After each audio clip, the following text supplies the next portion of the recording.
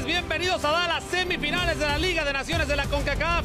México contra Panamá. Desde el estadio de los Guafaites son Ricardo Lavolpe y Miguel Ayun, nuevo refuerzo de Tudene. Pausa, regresamos para el inicio de partido.